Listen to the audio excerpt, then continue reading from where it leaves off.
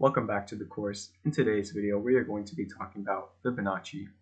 We're going to be going over what Fibonacci is, why it is used, how to measure Fibonacci, the types of retraces you can see with Fibonacci, where to use Fibonacci, historical context of it, and we're going to be also providing two examples of Fibonacci. Now, to get started, what is Fibonacci? Fibonacci is basically percentage retraces that allow you to find areas of value for both selling and buying. It can be used in day trading and long-term investing, but mainly it's going to be used in swing trading, which is the focus of this course. It is founded off of the mathematical Fibonacci sequence, which is seen not only in studies and prices, but also all throughout the universe. Fibonacci retracements are basically finding good areas with high probability to make some sort of trade-off of whether that be buying or selling. Fibonacci is separated into different zones, but the best zone to kind of take note of is known as the golden zone, which is pretty much a golden ratio converted into a 61.8% retrace, which is something analysts in all commodities recognize as a major area of value. Now why is Fibonacci used in trading? Not only does Fibonacci have mathematical support, but it also relates to the psychology of buyers and sellers. For example, if a buyer sees an asset that has gone back down significantly, they would most likely be interested as their goal is to buy low and sell high. On the flip side, if one was already in trade and they see that the price is high enough for them to sell, they would close their position and take profit. Basically, when you're using Fibonacci, you can see common retrace areas where, you know, other people might be thinking, hey, it's gone up quite a bit, so maybe I should sell. Or it's gone down far enough to a point where maybe I should buy.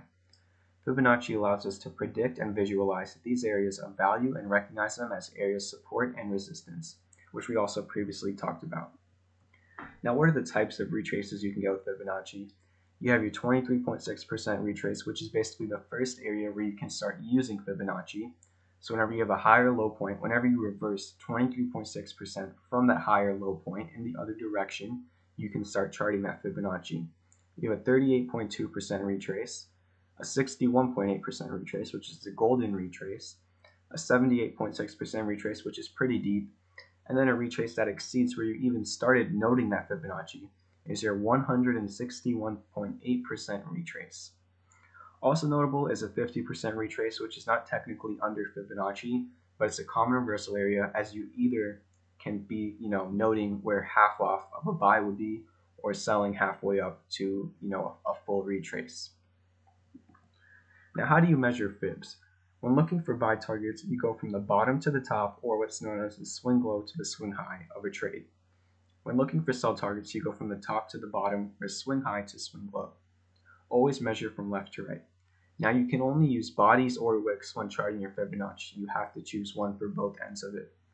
You can only confirm that a reversal of the trend is occurring after that 23.6% retrace has occurred. Now let's you know help you visualize how to use it on the charts. So let's say you're looking for buy targets. As you can see, you had a pretty, you know, good run up in price on this asset, which is Bitcoin. Then you reach this top area, and you can't really use Fibonacci until you, from your low to high, retraced 23.6%. As you can see right over here, you retraced 23.6%. And then when you start charting that Fibonacci, your goal is to let it retrace as much as possible so you can buy low. Now, see, if you see here, this wick actually perfectly touched the 61.8% retrace, which is the golden retrace and the most common retrace for most swing trades that you want to be entering in. Let's say you were to buy it right here at the 61.8% retrace and you were to hold it for some time. You'd be buying at about 8,500 and then over the course of some time, you'd be able to sell that asset or which is now, you know, on your screen Bitcoin for 10k and Fibonacci helped you realize that. Moving on, let's talk about selling targets. As you can see, we're starting from this top point and we're moving all the way down to this bottom point. We're pretty much using Fibonacci for the structure of this massive pump and dump from about a $600 area. So basically, you can only start using Fibonacci when your swing low towards your swing high has reached 23.6% of retrace. After you see that, you can pretty much chart your Fibonacci and then if you see, a good place to sell could have been that 0.5, which means from your high point to low point, right over here, you literally went halfway back up. Now let's say you sold right there and took profit, you would prevent yourself from having to sell lower and pretty much break even. So Fibonacci allowed you to see where other people might be saying, hey, after that dump, we've already went halfway back up to, you know, to where we once were. This is where a lot of people might be taking profit, and Fibonacci helps you realize that. Now, basically, you know, you can use it for these candles that are, you know, pretty significant, but most of the time you're going to be use, using Fibonacci for massive runs up. Like, let's say you could have used Fibonacci from here to here, and then you would probably, you know, exceed or get around a 23.6% retrace around here. That's just off the top of my head. I might be wrong. There's other structures in play as well, but just to help you visualize it. And mainly you're just going to be using, you know, patterns. Like let's say you have a falling wedge.